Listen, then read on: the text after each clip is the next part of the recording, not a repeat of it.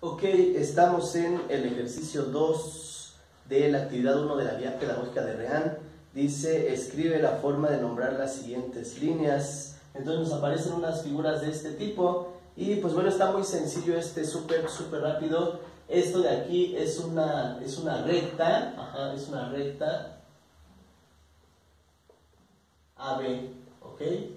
Y lo podemos representar también de esta manera, así una línea recta en la parte de arriba y le ponemos AB. ¿Vale?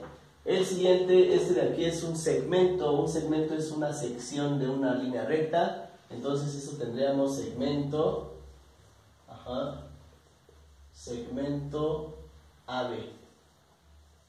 ¿Ok?